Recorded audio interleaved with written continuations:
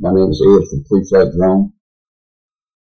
This is an aerial update of the widening of Hill Road that extends from US Highway 401, one mile, to Stoney Point Road, 1.1 mile to be exact. This project started in July 2022. I have three other videos on my channel recording the progress of this highway. So this is number four update on the widening of Gillis Hill Road.